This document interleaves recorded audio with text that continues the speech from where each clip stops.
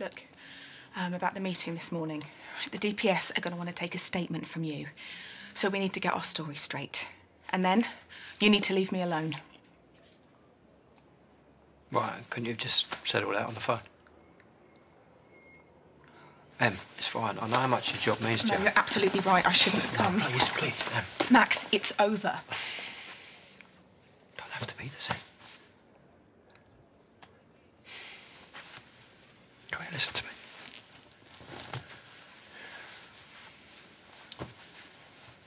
Look, at the risk of looking like a complete prat, I think I love you.